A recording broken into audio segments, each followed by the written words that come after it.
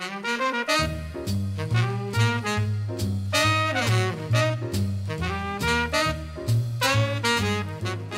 I'm Jeff Rupert, and this is the evolution of jazz and the module on listening to jazz. Each module for this course will contain listening examples and will make reference to the three CD set that accompanies the book, as well as the demonstration CD that you should have. Each module will have two assessments, one on the text, module content, and videos, and the other assessment will be based on the listening. It's important to listen to each recording four times before you take the assessment. While we've all been listening for a long time, the objective of this module is to develop skills to listen to a recording and identify elements. Elements that include one, the instruments, which is what instruments are in the recording. Two, the tempo, which is how fast or slow the piece is.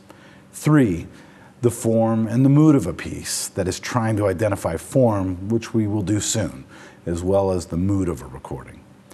And four, identifying soloists within a jazz recording and elements of jazz discussed throughout the semester.